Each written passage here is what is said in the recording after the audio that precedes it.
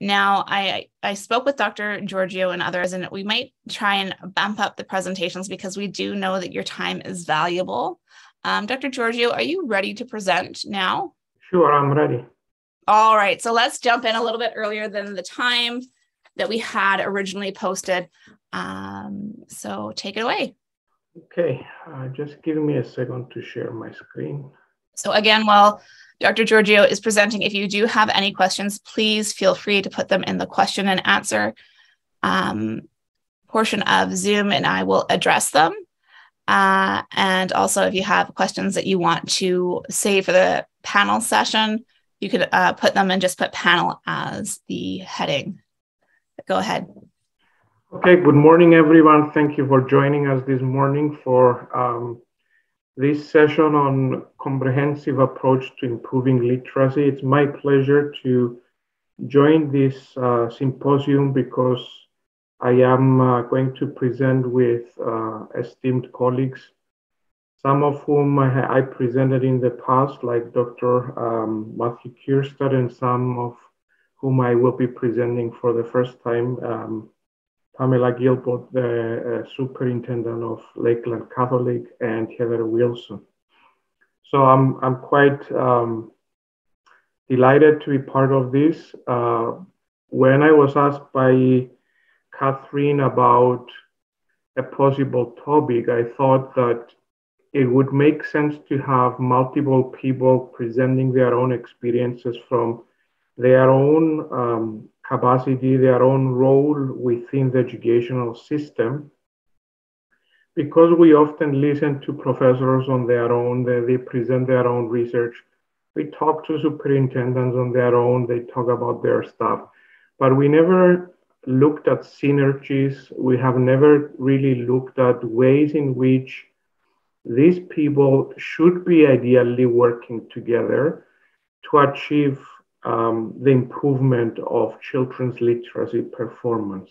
And I think the experiences we have gained over the last 15 years working with uh, these individuals in Alberta has um, have allowed us to have a very solid understanding of what it takes to improve literacy and we have achieved quite significant results that we are happy to share with you today. So a few things about myself. Um, I come from, originally come from that little island that is called Cyprus, that is just below Turkey to the left of Lebanon uh, in the Mediterranean Sea. I, when I moved here and I was uh, saying that I'm from Cyprus, they thought that I was from the Cypress Hills just outside of Alberta but um, it's spelled with a US at the end, not with ESS. So I made the uh, trip 7,000 miles uh, to the west to come to the U of A in 2002 to do my master's and then PhD. I had a short break after my PhD where I did uh, a postdoc at the University of Jyväskylä in Finland. And then I came back, I rejoined the U of A as a faculty member in 2008. Since 2008, I am um, a professor in the department, used to be in Department of Educational Psychology now.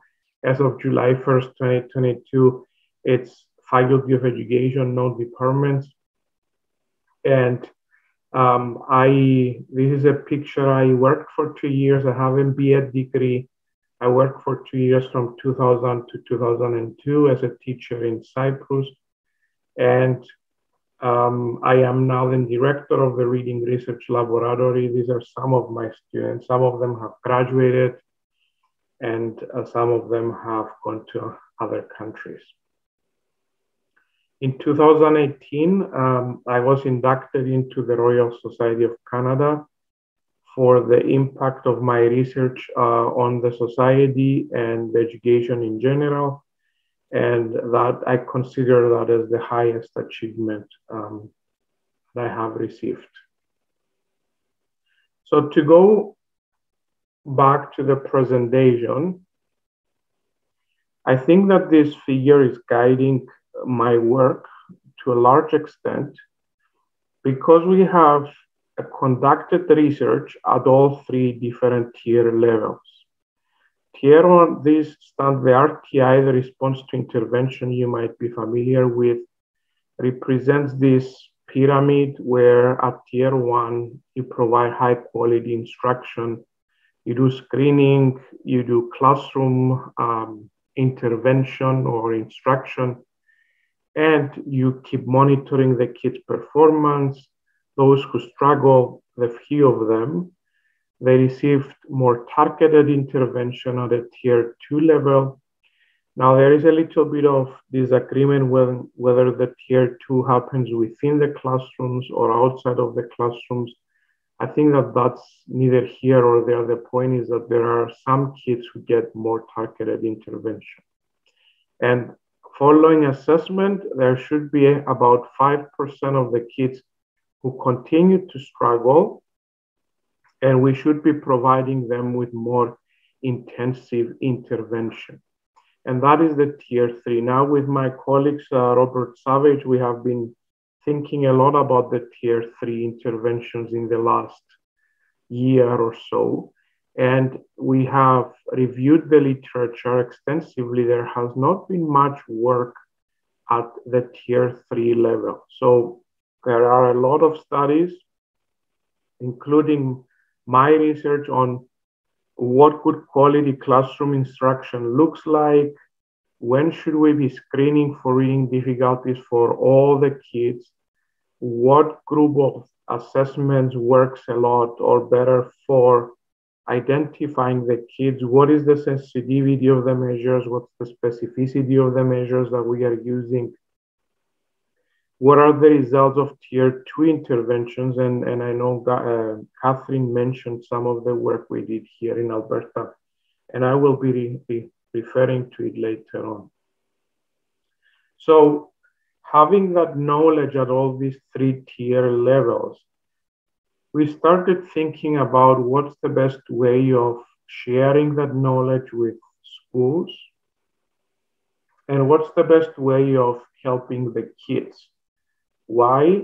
Because the hard reality that we see nowadays in our schools is that the numbers that we get do not match the numbers that we should be receiving from the RTI based on previous research that has been done. So in, in 2017, there was a report in Edmonton Journal that the Edmonton Public School Board kids, 27% of them were reading below grade level. And there was something else released um, in 2021 as a result of COVID saying that the kids in that school division deteriorated in their reading and math performance over the last five years. So if that was 27% in 2017 and it deteriorated, you can imagine where that might be right now. But more recently, Alberta Education had asked all the schools to report on the number of grade two and three, uh, sorry, grade one to three kids in Alberta who were reading below grade level so that they would provide funding for these kids to receive pull-out intervention. Of the 160,000 kids enrolled in these grade levels, I think 54,000 kids were reported as being struggling. And reading and, and meeting the cutoff scores reported by Alberta Ed to uh, receive intervention, and that's about 32%. In other words, of the kids who are registered in these early grade levels, one in three kids was found by the schools, by the teachers, to experience reading difficulties and needing additional support. So the question is that if we should be having about 20% struggling kids that need some intervention and 5% of kids who need tier three intervention, how come we have more than 30%? And what importantly, what we should be doing to address this. that's something that was in my head for years. Being also a classroom teacher, seeing the kids in a classroom and realizing that some of my students were not reading at grade level, having discussions with different school divisions here in Edmonton and talking to principals and telling me about the number of struggling kids that they have been having and what they have been doing. So at that time, about 14 years ago, I was very um, lucky to uh, have discussions with a principal of a large school here in Edmonton who had been coordinating other principals as well.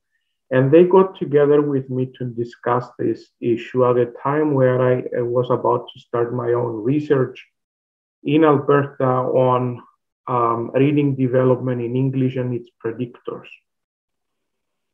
So, through this process and the interactions with principals, we have identified three key elements, and I'm, I'm calling them the Alberta made solution to this. And believe me, it is working beautifully. At least those who have tried it and those who have engaged um, uh, into the practices and um, into what we have been sharing with them, full force, full heart, and uh, fully committed. So, what are these three elements? It's ongoing training of teachers on best practices. Unfortunately, we know that most teachers who graduate from universities have very little knowledge of what struggling kids look like, how to identify them, and most importantly, what to do with these kids once they identify them. The solution is not to hire EAs or special ed people so that we can pass these kids on to these experts to uh, help them. But the teachers in the regular classroom also need to know what to do with these kids. So we had started providing training to teachers, not just come in, attend to George presenting for one time for two hours and then that's it. There were continuous sessions with these teachers. Often, uh, quite often, these teachers were coming back the second year and the year after because for many of these teachers who had very little idea about what I was talking about, they, they, it was very hard to absorb all the information the first time. So they had to listen to me a second time, a third time, go back to their classrooms, try out a few things that we had said in the presentations, come back with more questions, modify their instruction accordingly until we get it right. So it's ongoing, it's not a one time training. I mention this because what we have also seen from some school divisions that are not doing very well is that they are sending their teachers to some professional development. And they think that by having their teachers listening to some presenters for an hour or two, that will miraculously change their practices and all of the kids in their classrooms will be performing perfectly fine. That will not happen. Second, we realize that beyond training, you need to have some measures to assess the kids in order to identify who is at risk for reading difficulties and also monitor the performance of the kids so that if you provide classroom instruction, you can see whether your whole classroom improves, whether some kids improve but some others don't. You need to measure how much growth they have made. If they are meeting the targets of the school uh, of the grade level or not. And importantly, for the kids who receive intervention, you need to have this assessment so that you can estimate whether they need additional support or whether you can graduate them from the intervention. The whole point is not to keep these kids in the intervention for a long time. You need to provide them short, intensive, targeted interventions so that soon after they make enough gains, they can go back to their classroom. What we have seen in many of the schools is that the kids who were identified as struggling kids, every single year it was the same kids who were receiving intervention, and they did not have really good assessments in place to tell whether these kids really needed the intervention or not. We also need um, evidence based tier two and three intervention programs. I'm saying this because, unfortunately, particularly in Alberta, we have been used, many school divisions have been using um, intervention programs that do not have a lot of support from research as being evidence based. In other words, if you will be investing $2 million on a program for your school division, make sure that it is actually effective based on previous research. And when I say previous research, I don't mean one study conducted by the authors of the intervention program. I mean independent, peer-reviewed, published uh, uh, results in very good journals and not just one study. So we worked also on that area with uh, teachers and principals, and I know that um, Pamela and later on Matthew might be talking about this for their own schools. So, for many of us, we have heard this expression so many times early prevention is the best intervention. Now, it's the motto that has attracted most interest. It is used not only for education, but in other fields as well. But we don't really understand very well, or most educators don't understand very well, what it means by saying early prevention. We have not really started talking about what does early mean and what does this prevention mean? And today we know very well that early does not mean grade three, does not mean wait until the child fails in reading so you can then refer the child for psychoeducational assessment and subsequently provide intervention. That might be too late. Early, according to research, means kindergarten. So I will repeat this. Kindergarten is probably the best time to prevent reading difficulties from happening.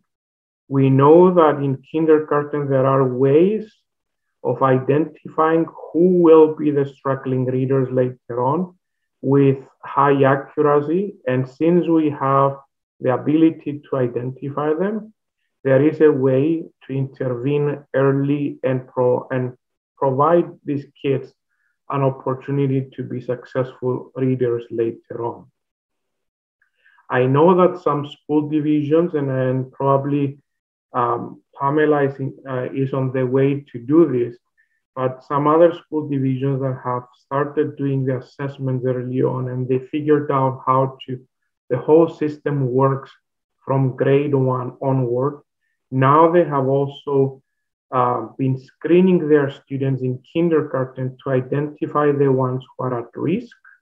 And they have been providing intervention to these kids during the second half of kindergarten. And by the time these kids go to grade one, half of them, or even more than half, have already benefited to the point that they no longer need additional support. So we have to do some screening in order to prevent the reading difficulties from happening.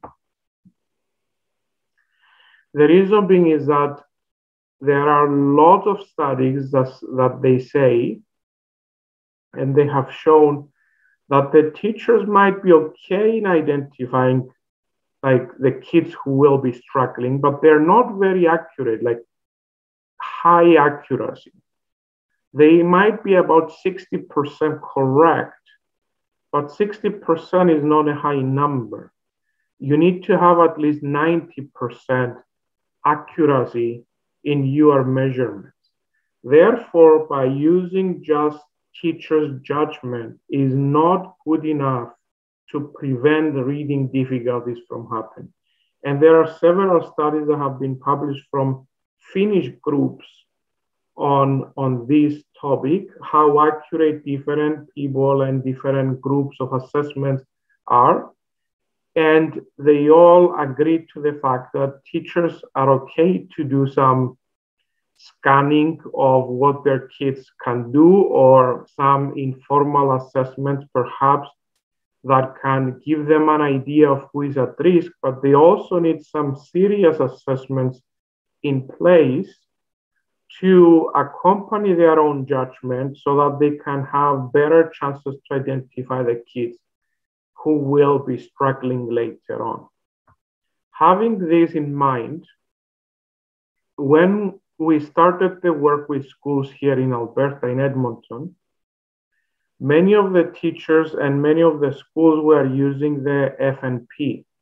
And they had complained that they had not seen any changes over the last 20 years in their kids' performance and that it was taking teachers too long and they needed something that was more standardized or what I call norm referenced assessments. And at that time, Sorry, Dr. Georgiou, could you just um, define what FNP is and what it looks like? Yeah, it's the Fountas and Pinnell. It's the Fountas and Pinnell reading assessment. It's used by several schools. So when we started um, talking about the assessments, the teachers and the principal said that they needed something that would that teachers could administer. They did not want external uh, people to walk into the schools to do the assessments, and they had to provide them with um, standard scores. So compare the performance of a child, any given child in their classroom to norms across North America.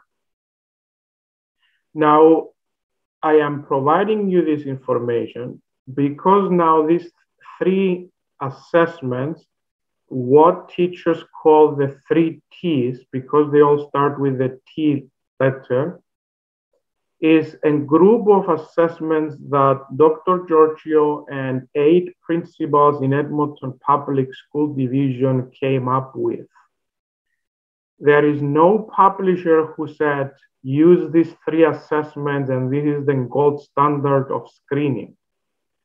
These are the assessments that we came up based on the criteria that I will be presenting to you in the next slide. Now, if they have, there are, there might be other assessments that they may be doing an equally good job. I'm not saying that this is the best possible set. This is a set of tasks that do the job that we want them to do, and we have tested them. And they provide us a very good picture of what the kids can do, and the teachers feel comfortable administering. There might be, I want to be very clear that nobody, we didn't have an epiphany one day and said, these are the top three we just tried out different combinations. These are the ones that we feel comfortable using. If you were to ask me as a professional, George, is there something else that you would add to this? Perhaps I would say if we had more time and we wanted teachers to do a bit more, I would like to have a vocabulary task in the mix of these assessments. Now, these are the criteria that those uh, principals and I worked with in order to come up with that list of assessments. The, um, they had to be quick. So the fact that you have to test the kids, you don't need to spend like an hour with each child individually. You can do an equally good job with uh, shorter tasks that are perhaps more reliable and, and more valid, and teachers can administer them. The test should also have alternate forms. We wanted to have alternate forms so that teachers could administer these tasks over the year multiple times.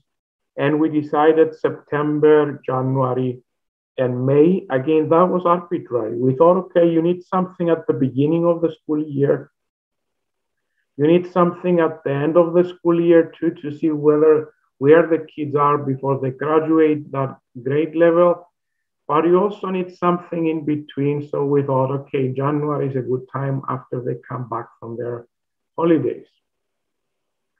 The most important, I think, criterion was that jointly these assessments, they should provide you a, a relatively good picture about the kid's knowledge of the foundational skills or what Catherine talked earlier about the National Reading Panel and the five literacy uh, pillars of literacy. So phonological awareness, phonics, fluency, uh, vocabulary, and reading comprehension. So the assessments that you see here, the first one is a measure of reading fluency. The second one, we use it as a snapshot of reading comprehension. And the last one, we use particularly the non-word part of it as a measure of phonics. So you see, we don't really have a specific one for vocabulary even though the TOSREC, unless you know the meaning of the words, you cannot really answer correctly those sentences. So we get we get some idea about the vocabulary from TOSREC. Now, there are four ways to look at the data that teachers collect at the end of um, each assessment. You can look at them at the school level. If you have multiple schools, you can look at them at the grade level, class level, and student level. For example, in this case, the TOSREF, you can see that in this school A and school B, they administered the same assessment. You can see how much growth they made from uh, Form A to Form B, and these numbers are standard scores, by the way. Ideally, you need 100 to be average and uh, on target. So you see that in, um, in school A by January, grades four, five, and six, they were already at grade level. Grades one to three, they were well behind uh, grade level, but they had shown some signs of improvement since the assessment in September. You can also compare the schools, and that's what uh, the reason I presented this slide. You can see that school B in grades two and three, they were already at grade level, but grades four and five, they were well below the exact opposite picture of school A. So this allows for um, interesting conversations between schools to see what these early school teachers in school B, what they are doing that allows that school to be successful and meeting the standards as opposed to school A that they're behind. And the opposite happens for upper elementary grades. You can also look at grade level. So aggregate the data across all of your students within a given grade, and you can see where each grade is. So in this case, grades four, five, and six, they are already at grade level in um, January. And all of your grades have shown some growth over time. And again, these are standard scores, not raw scores. And I mention this because it means that any growth is independent of children's maturation. You can look at class level data. So in this case, all of the classes at one given grade, they started about the same. They continue to grow. Now everybody is in green, so they are within average, above grade level. And by May, everybody is even higher. Class two is doing much better than any other grade, cl- other class, which tells you that let's talk to that teacher and find out what she's doing or he's doing in his class. That is producing better results, and everybody else can benefit. You can also look at the profile of each child.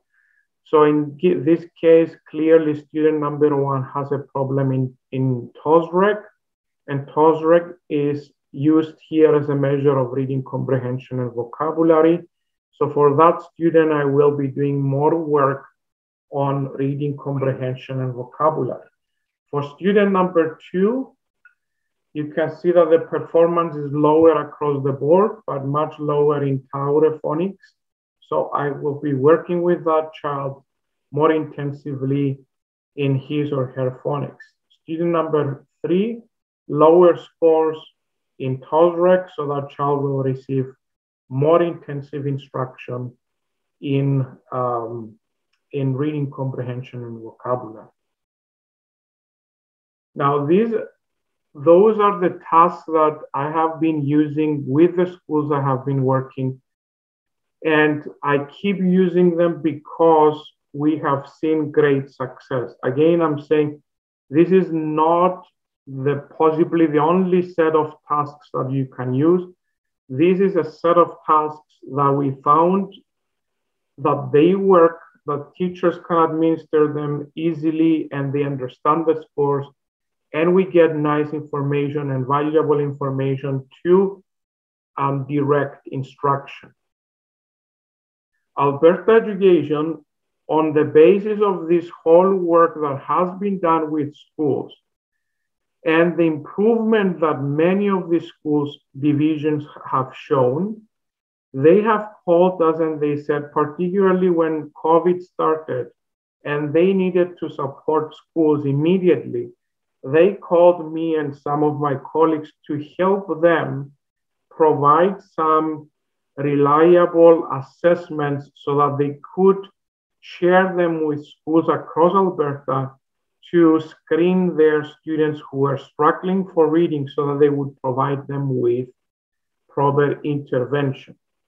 And at that time, in a short notice, we um, came into agreement with Castles and Coltheart I noticed there should be an L after T in Castle's name. Castles and Coltheart, uh, they are colleagues of Dr. Rauno Parrila at Macquarie University, and they have graciously agreed to share their reading screener for the purpose of using it in Alberta only. So we have special licensing with these individuals to use their assessment in Alberta. Now, that task has three um, conditions regular words, irregular words, and non words. This is exactly the same as the diagnostic test of word reading processes, a commercially available product, particularly in uh, the UK. You can purchase it. It has similar categories similar scoring, etc. So I'm just mentioning this to you because when we shared this with teachers in Alberta, they said, why are you giving me a list of non-words to read for the kids? Do I need to test all three conditions? Can I only test them on real words or exception words and not non-words? All sorts of questions. These, there are good reasons why these conditions are there it's to assess all aspects related to the foundational skills in word recognition, just like sight word recognition and phonics. We also provided schools with another task called letter name sound test from Dr. Rauno Parrila and Saskia Kohnen.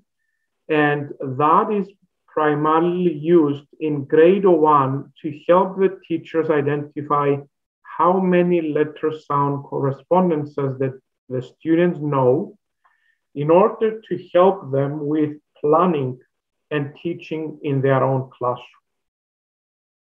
Now, I'm very pleased that Alberta Education has made it mandatory to screen all the kids in grades 1 to 3 as of September 2022.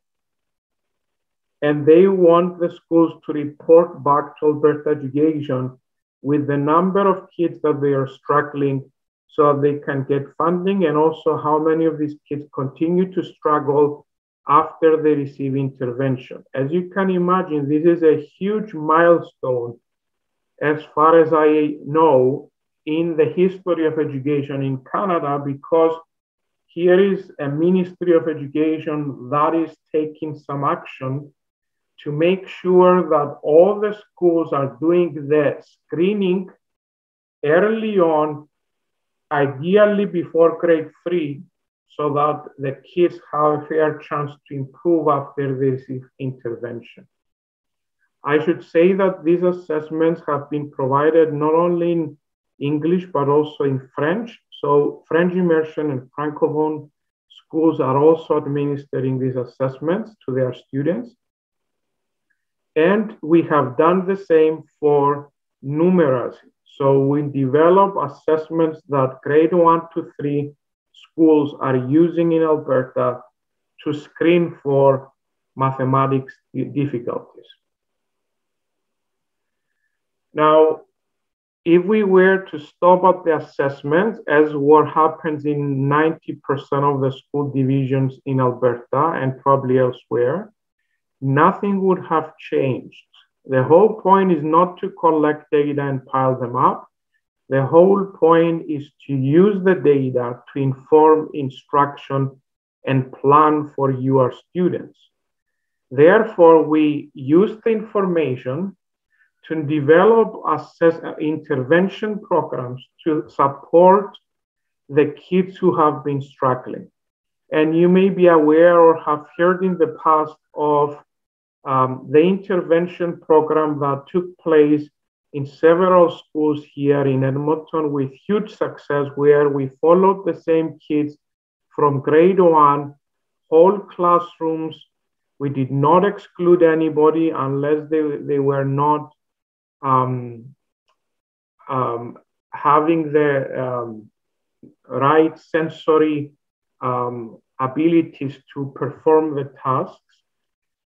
We followed these kids from grade one all the way to grade three. We trained their teachers to provide evidence based practices in the whole classroom. And we also provided pull out intervention to the students for three times a week, 30 minutes each time for about three and a half months from grade one, again in grade two, and again in grade three. By grade three, there were three kids out of 290 who started this program who remained poor readers. And that was 1.4% of the kids. If I'm not mistaken, this is the best um, achievement of any intervention program that I have read to date. Now, many of the schools that inclu- were included in this, they continue to use these intervention programs, and as far as I know, they have they continue to achieve similar results. More recently, as a result of COVID, we also tried um, an inter small group intervention, pull out intervention with kids from four school divisions St. Albert Catholic, Lakeland Catholic, Black Gold School Division, and um, Fort Vermilion School Division. 83 classes across these four school divisions, 362 struggling grade two and three kids. We trained teachers in these schools. Some of them were special education teachers, some of them were educational assistants, some of them were regular classroom teachers that were receiving them some release time to provide this intervention. We also had two principals who provided intervention themselves because they wanted and insisted that they wanted to do it. So we trained them to do it. And after four and a half months of intervention, 80% of the 362 kids improved in their standard scores in word reading by 1.5 years. So in four and a half months, they improved by 1.5 years. And 70% of them do not need additional intervention. Now, you can see that 70%, it means that there are 30% of these kids who will qualify or need additional support. They may, these are kids who will be going into what we call tier three intervention. Now, on the basis of these findings, again, um, Alberta Education came and said, This is very promising, George, um, and very exciting. We want to have to support all of our students and all of our schools in Alberta. So, can you please uh, develop um, an intervention program or share your intervention program with Alberta Education to be shared with all the schools in Alberta. And my doctoral student, Christy Dunn, and I worked on this. We provided this um, 589. I left that on purpose on the top of this slide. You can see this is the first page of out of 589 pages worth of materials on systematic instruction in phonics for grade one to three. So our Alberta Education made this available with all the teachers in and schools in Alberta to use for free. And I'm, I'm very pleased that they have done that.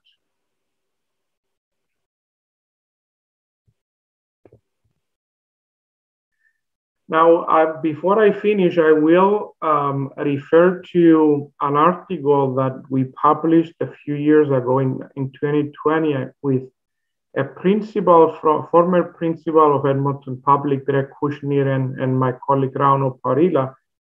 We had been following the performance of this school for a couple of years, and year after year after year, they were improving in their literacy scores using the standardized measures that I mentioned earlier. So we thought this is an excellent example of a school that we want to look deeper into what makes them a successful school, what makes the teachers so good to provide instruction that all the kids on average improve year after year. And they were not just reading at grade level, they were performing well above grade level every single year. So we wanted to find out what factors contribute to this success. And we gave a questionnaire to the 20 um, language arts teachers in that school and asked them to rate from zero to four, four was the highest on a Likert scale to tell us how much they agree with each statement. So we gave them different statements. For example, the common formative assessments given by grade level teams. So these teachers, they the average was 3.87.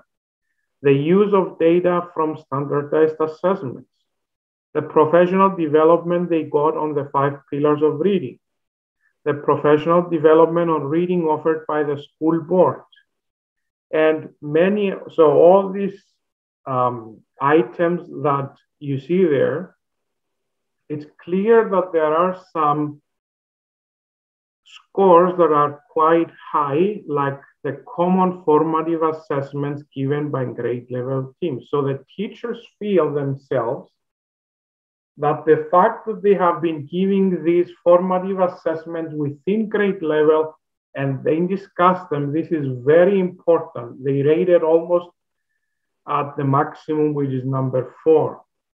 But you also have items like the professional development they received from the school board that was rated the lowest.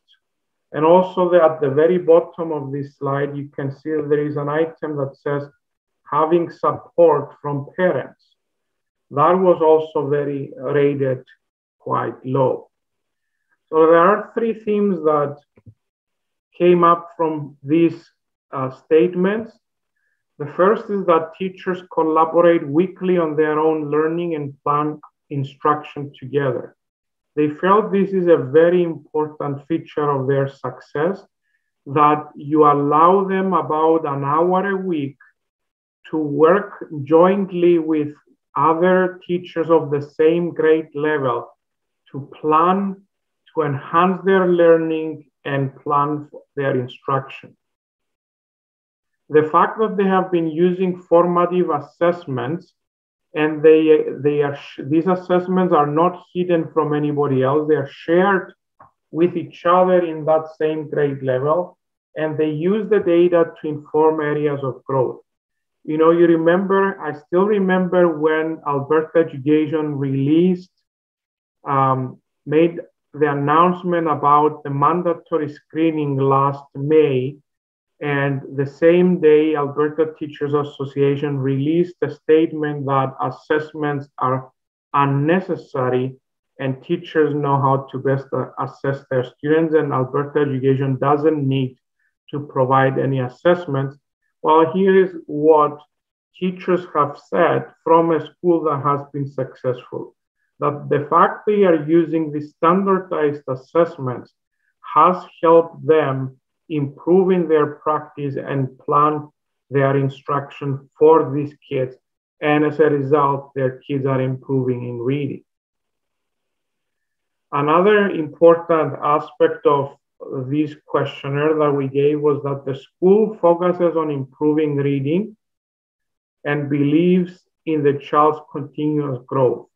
So it's not one person's uh, journey, it's not one person's job to improve the literacy of all the kids, but the principal is involved, the literacy consultants are involved, the teachers are involved, and perhaps the parents are also involved. So I will conclude my presentation with uh, these five points if you were to ask me in the last 15 years what you have learned, George, in this process, I would say the first thing I've learned is to persevere. I always remind myself that Rome was not built in one day. And I try to um, share this with the school divisions because it's often thought that if we teach our, if we train our teachers and we use the assessments and have as interventions, everything will be solved in three or six months. No.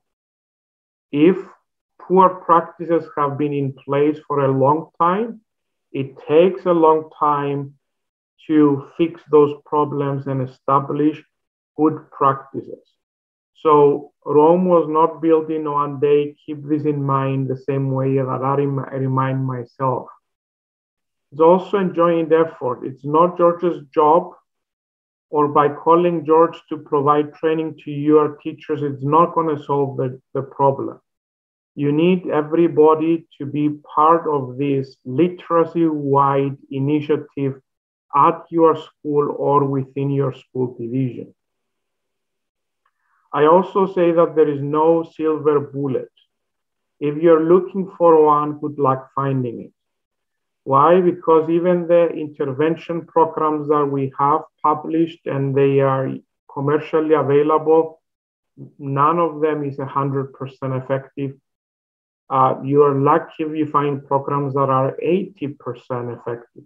It all depends on the kids, on the nature of the difficulties they have, the grade level, the intensity that you will provide these interventions, etc. You also need to have a long-term plan and to develop a structure of supporting your teachers. By asking if you are a superintendent and you say, you call your principals and say, fix your reading problem, that will not help. Or if you're a principal and you say, you find the way to solve your problem, it's your teacher's issue and your class problem, then it will not help either.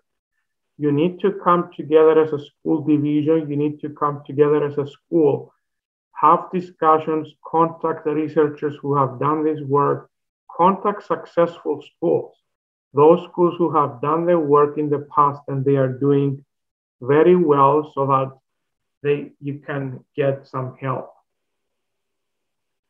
Finally, um, you are allowed to make mistakes. Please keep this in mind. We learn from our errors. We have we haven't had an epiphany and we get it right from the very beginning. This what I described to you with the assessment, the interventions, etc. We tried different things over time. Sometimes they work, sometimes they don't work, but we learn from our mistakes and we fix the problems so that we can then provide the best advice to the schools. So, open to the idea that there might be a period where you might be allowed to make a mistake. This will help you learn from your mistake and get better. So I'll stop here and, and get any answer any questions that you may be having. Wonderful. Thank you so much, Dr. Georgiou. That was amazing presentation uh, and so much information to soak in. We do have some questions. And the first one is Would the CC3 assessment be comparable to the TOWRE? Um, and I, I think the important thing to note there is it's comparable, but it's not at the same time because you have three different lists of words where the, the decodable and the um, non-decodable or the, the ones that are more difficult to decode are separate right? So so the TOWRE is a timed uh, reading assessment.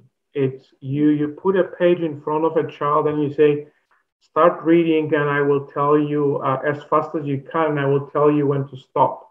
And you give them 45 seconds for real words, and then there is a non-word card. Mm-hmm. So the real word card has both regular and irregular words mixed up. In CC3, as well as in the test diagnostic test of word reading processes, these are accuracy measures. There is no speed requirement. You don't tell the child, read as fast as you can. You tell the child, read as accurately as you can. And you say, okay, let's try the next item within a reasonable amount of time. So you don't give them a minute, let's say, to try an, uh, an item. After a few seconds, you say, okay, let's try the next item. But it's not timed and the score there is how many words you read correctly or non words. And so these two, even though they are measuring partly the same skill, so real word reading and non word reading, one is timed, the other one is not timed. So you cannot use these two interchangeably. Oh, let me give this today, and in a month I will give CC3. You cannot do that. Yeah, so the the TOWRE definitely adds that fluency component to it, uh, where the CC3 allows the student to, you know, uh, decode the word and then blend it together and not penalize them for that. Correct the next question is Is there a vocabulary assessment that you would recommend? Yeah, this is this is a very good uh, point. Um, unfortunately, the most widely used vocabulary assessments, like Peabody Picture Vocabulary Test or the um, the Wechsler uh, from the WISC, the Expressive Vocabulary, Either they require level C uh, assessment skills, so teachers cannot administer them in their classroom, or they are individually administered and they take about 15 minutes per child. So, given the criteria that I described earlier, we haven't yet identified a vocabulary assessment that can be given to the whole class and be done quickly, like in five minutes. There is one, it's called GRADE, G R A D E. Mm. GRADE has multiple tests in a booklet. Yeah. It has word reading, it has listening comprehension, it has reading comprehension, it has word vocabulary. The word vocabulary basically it has rows of pictures and the teacher will be either say a word and then the the kids have to circle the picture that depicts the meaning of the word that the teacher has said or they read a word on the side let's say broom and then there are pictures including a broom to the right of that word and they have to circle it. Now if, if the kids have to read the word, then it becomes a word reading task, and that introduces other factors. So I'm not very pleased with that assessment either. So we are, this is an open question. We are still trying to come up with a task that measures vocabulary very well. Well, and I think it's important to note that there are different levels of vocabulary that need to be assessed and uh, the biases and cultural biases that go within different communities, it's very difficult to create a vocabulary test that is broad enough to capture the needs of all students at a standardized way. And whether we're looking at those tier one words, which are words that children should be picking up in every conversation, everyday conversation, and the tier two that are the more academic words, and the ones that we're seeing more in formal writing, and the tier three, which are the very specific words, we need to figure out what is the best way to measure that and what it means for the students' reading comprehension in the future. Now, what grades get assessed with these screeners for the research that you've been talking about? Uh, grades one to nine.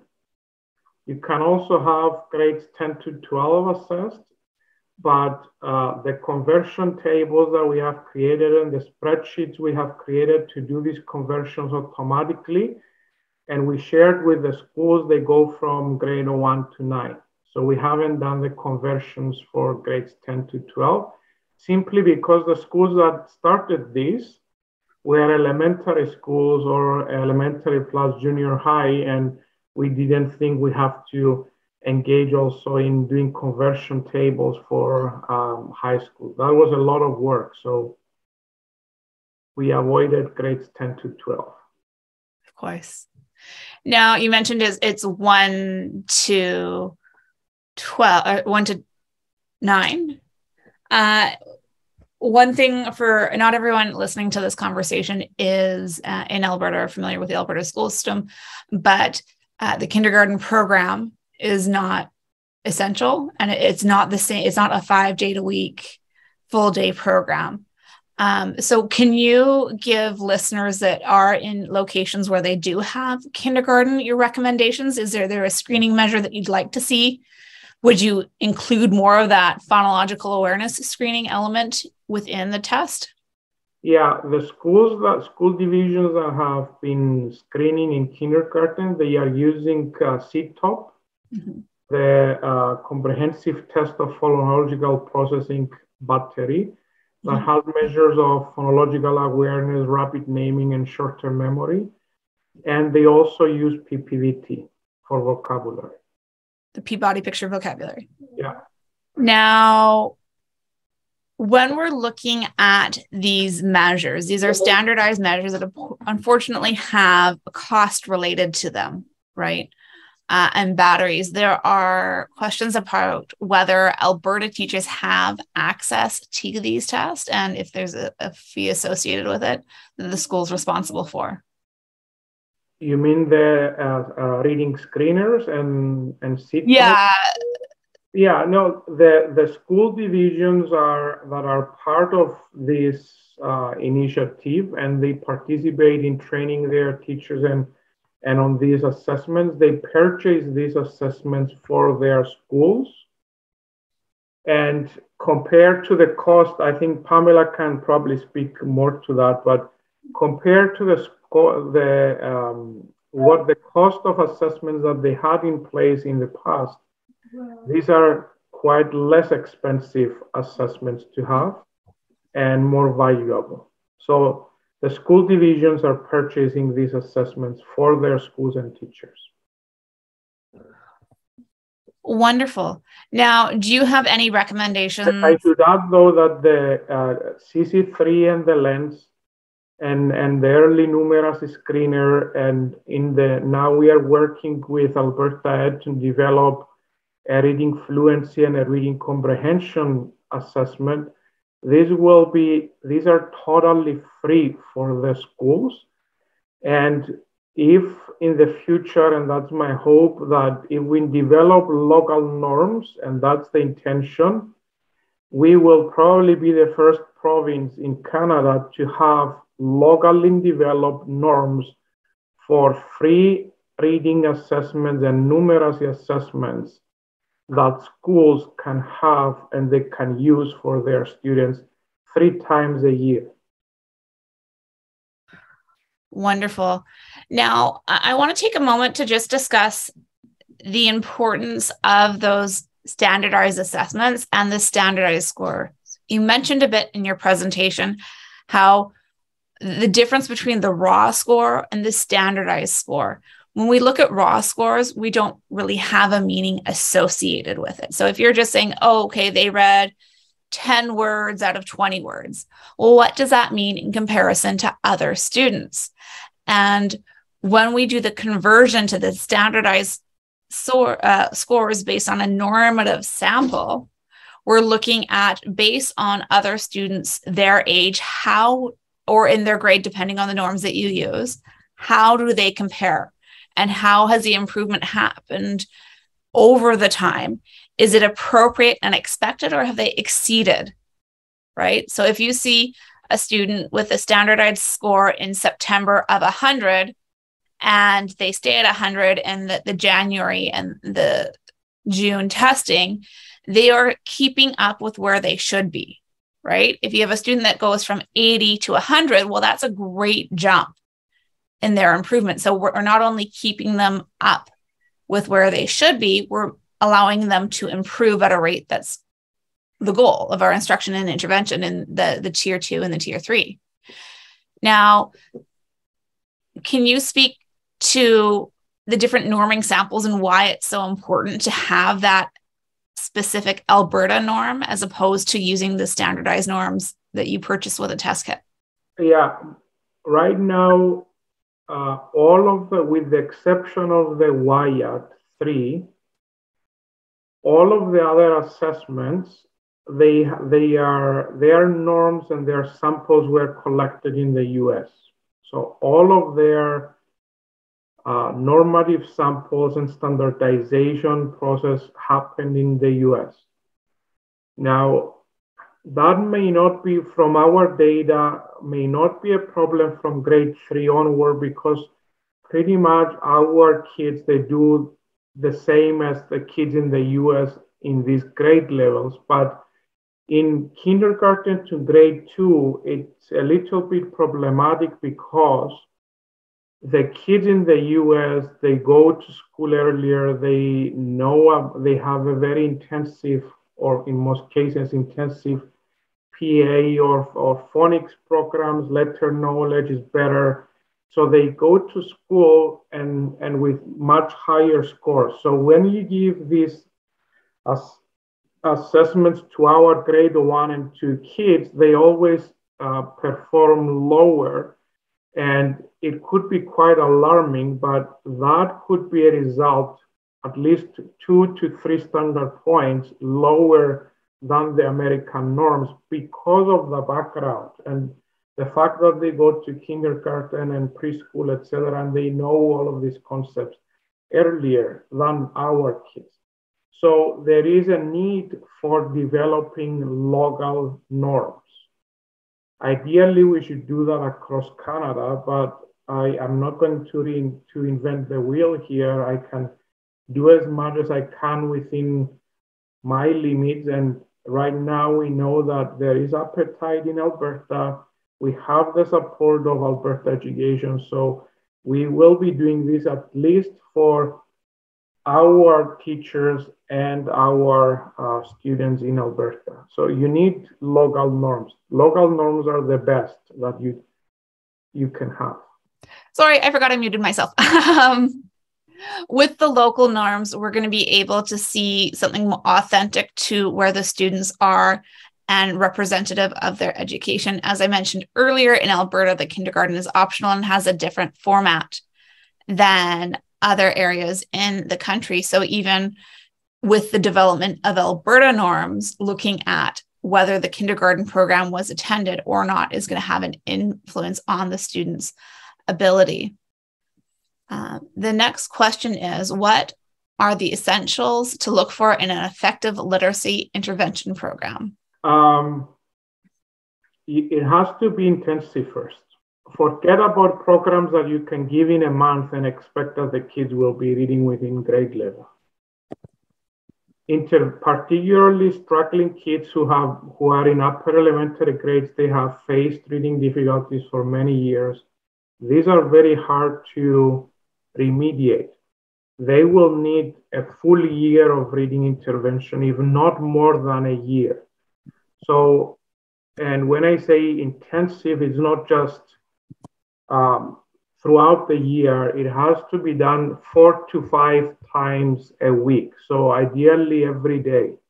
That is what we did with our intervention in grades two and three to allow the kids to catch up quickly. Four times a week was okay because we allowed the kids that always at the school there is a day that they have something else or they will be away. So we accounted for that.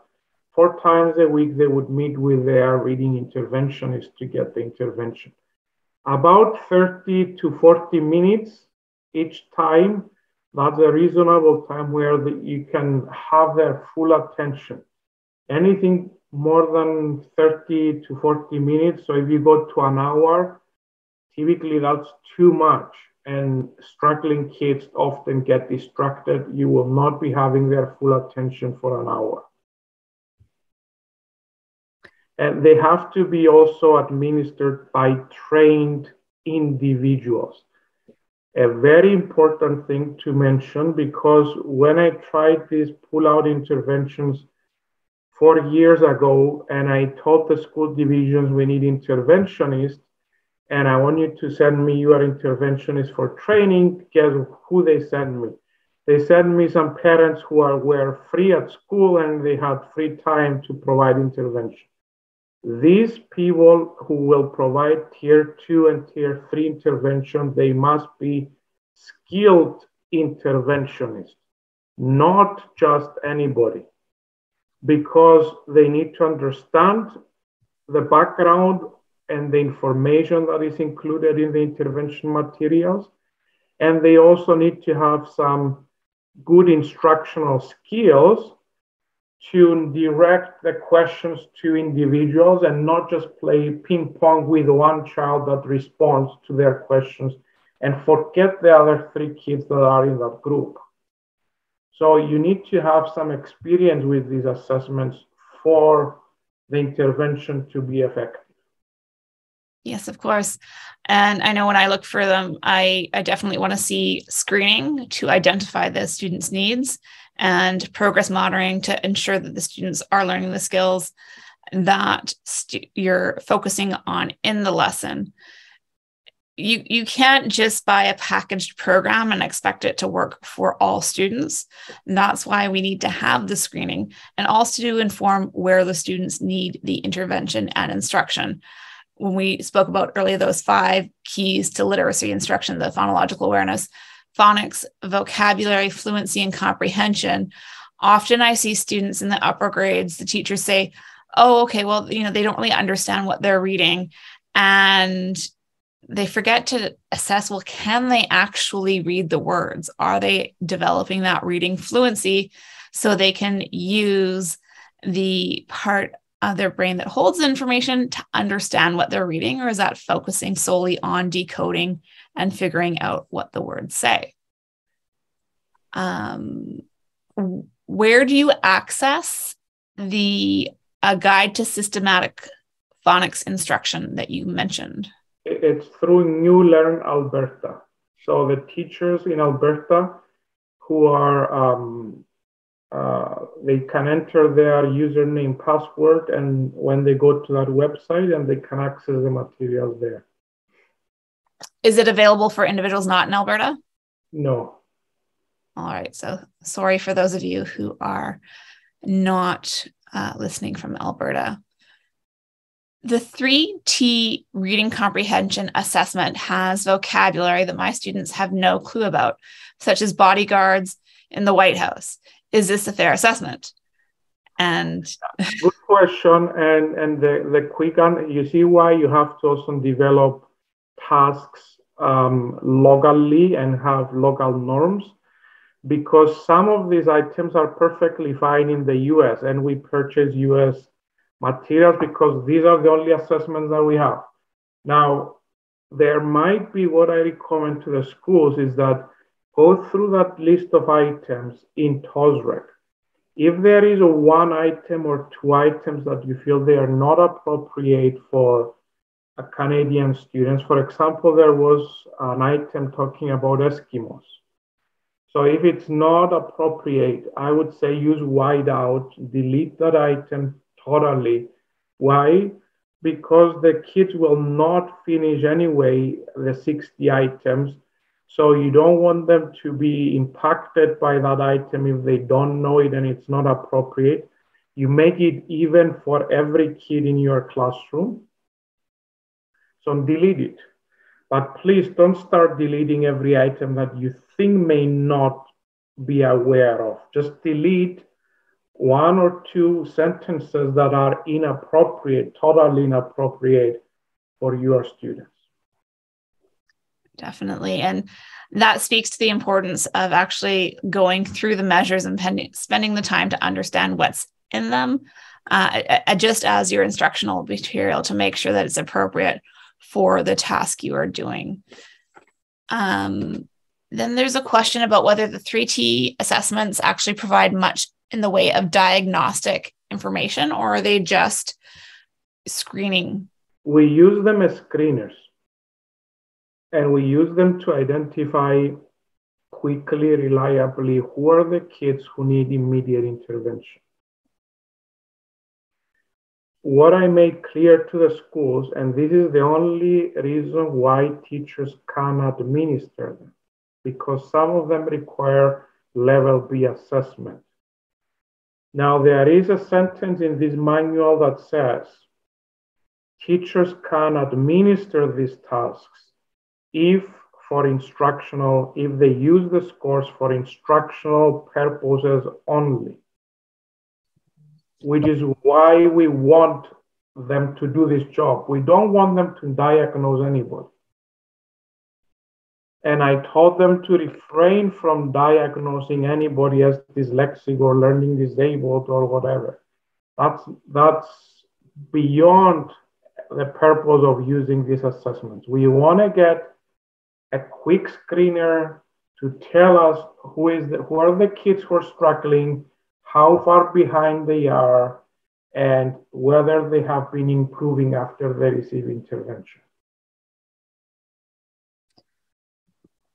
Definitely. And again, the reason why we're doing this is to inform instruction. So it's important that when teachers look at these screening measures and look at what is being assessed, they learn how to use that to inform their instruction and how to look at the results as a class as a whole, create those small groups for the students that a group of students that need targeted instruction on a specific skill, and the students that you need that more intensive one on one intervention, uh, and not making that student that needs the tier three instruction wait and go through the other stages.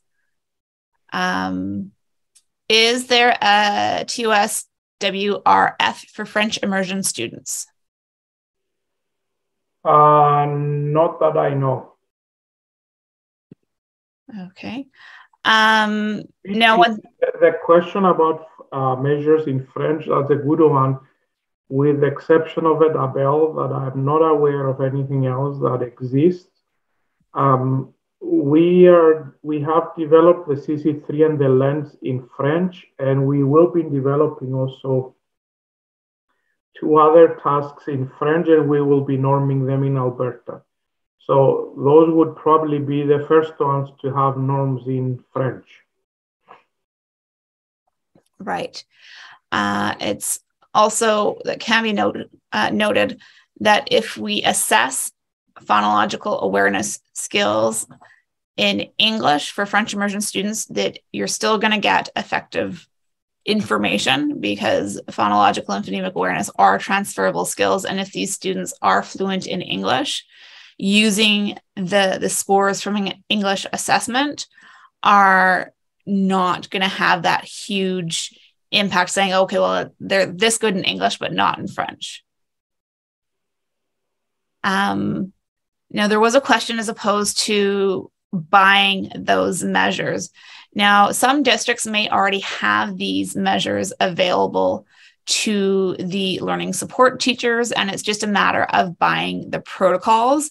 And that's you know a case by case basis as to whether the school has to purchase the protocols or the district uh, will do them. And it would be great if we got to the point where you know the the Ministry of Education just purchased it for every student within the provinces. Yeah, the other the other very important thing to keep in mind, um, Catherine, is that when we started this process, and just like any other anybody who will be purchasing these assessments, they have they come in the manual with conversion tables. Mm-hmm. So psychologists are doing conversions manually.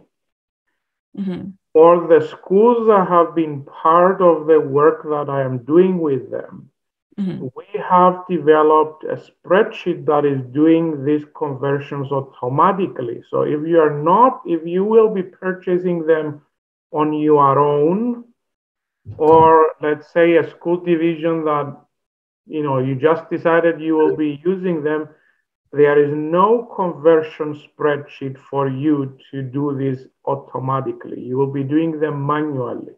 I just want to make this clear because you don't just get a row score and automatically converts into percentile ranks and standardized scores. We have done this in the schools that I have been working with to support the teachers to reduce down the number of time, the amount of time they would spend on doing conversions and invest the time on planning. Yes. Um, one of the users is wondering Are you aware of the French sounds by Watermelon Works where you can rapidly assess French language with accuracy for learners? No, I'm not aware of that. Okay. All right. Well, thank you so much, Dr. Georgiou, for joining us today. You're a wealth of information and very appreciative of the things that you have contributed uh, with your research and your work. Um, before we move on to the next presentation, can you give us a little bit of information because you played a role in the redesign of the curriculum uh, in Alberta? Can you give us just a bit of an overview? Of how your research uh, and your experiences have impacted that and what teachers are seeing in the change. I know there's been um, some mixed emotions and feelings about this change of curriculum.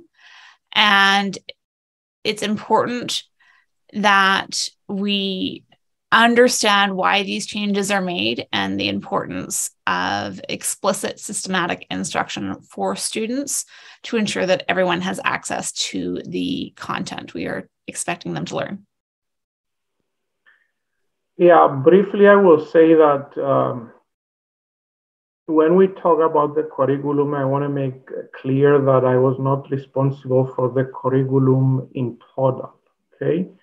Because the curriculum has several subjects. I think in Alberta there are nine, nine different subjects, including French language, social studies, math, phys ed, etc., drama, etc. So I was asked to provide my advice on the English language arts curriculum.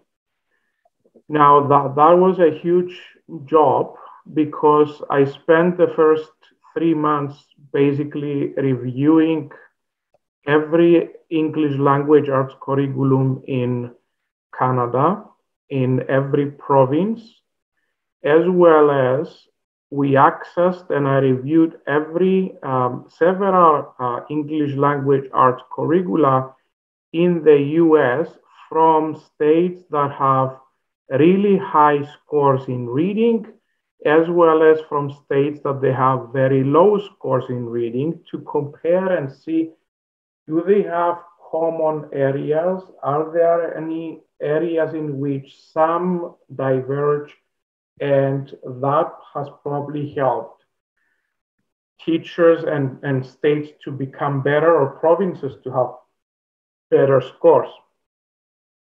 Now, most of the English language art curricula in Canada, they're quite outdated. They have been developed in early 2000. And that's when ours was developed too. And that's why we, it was about time to create a new one to be more in line with current research findings. That is the reason why, for example, in the new, uh, the new draft that will be implemented in schools as of this September, you see that there is a component on morphological awareness. And we ask the teachers to teach it in 2000, there was very little information about morphological awareness. Nothing was included about morphological awareness in the, in the current English language curriculum. Now we have included that. We also added components that are that we found out from the research that has been conducted over the last 20 years. Now, I know it has been a very contentious topic. Um, all I can tell is that the people who are aware of the science of reading and the people who have read a few articles about the importance of systematic structured instruction, they can see this reflected nicely in the new English language arts curriculum. There might be one line or two lines that they don't like, and there are contentious issues even today. We don't know everything about language. There are things that maybe in five years from now, some newer research will say you have to add this and it was not there before. So, in general, the people who understand and they have been participating in these kinds of professional seminars on science of reading and the right to read, etc., they can see the value of the new English language arts curriculum. Most of the criticism that I have seen and read comes from people that they are balanced literacy trained people or whole language trained people that they don't understand that systematic and structured instruction should come before the kids develop love for reading. Mm-hmm. And comprehension develops as the kids become accurate readers. Yes, of course. And we can work on language comprehension strategies at a separate time in the day from when we're working on the word recognition strategies. And for the people in Alberta, rest assured that we had a team of expert, international experts I think in different media presentations, I mentioned a few of these names. Some of you have been attending their seminars and you have been registering to their webinars to uh, learn from them. We engaged them and they graciously offered their expertise to review every component that fell under their area of expertise. So we engaged Robert Savage, who is the guru of reading interventions in Canada, to review the phonics part, and he gave us his feedback. I did the same thing for every aspect of the ELA curriculum that you currently have in front of you. So I trust the experts, and same you should uh, uh, trust the experts. I don't trust associations. So yeah. uh, with that, I will stop. And um, I, I hope that our teachers, we are open. We received, and I read, Catherine, more than 2,000 emails and letters from teachers with feedback about the ELA curriculum. We took several of those concerns into account, and many of the teachers who had seen the first version and the current version, they must have noticed quite some changes. We, we listened to them, we revised quite a few. But I didn't change many of the things that research is now showing that they are important and that's the order in which they have to be taught. Yes, of course. And uh, I know before you've mentioned that this this draft curriculum does meet the recommendations, uh, the 32 recommendations from the Ontario Human Rights Commission, right to read public inquiry in the report because they addressed specific things that the Ontario curriculum needs to change to ensure that all students are each and. Like the, the Ontario Human Rights Commission was published after we had released the first version of the English language arts curriculum. And if you were to go through the recommendations in the Ontario Human Rights Commission report, you would see that they are all already included in the draft that was sent out to the schools. Wonderful. Thank you so much, Dr. Georgiou, for your time. And I look forward to uh, your responses in the panel question and answer session later today.